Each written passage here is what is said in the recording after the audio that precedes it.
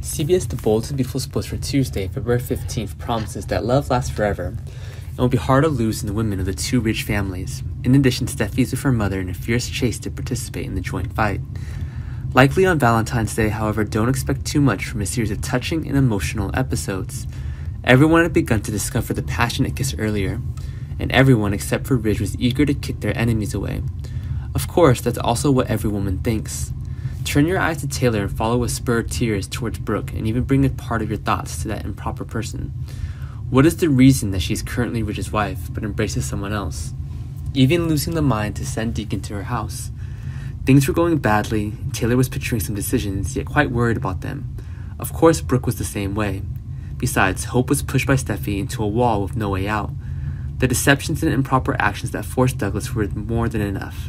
It was time for Steffy's fury to be established.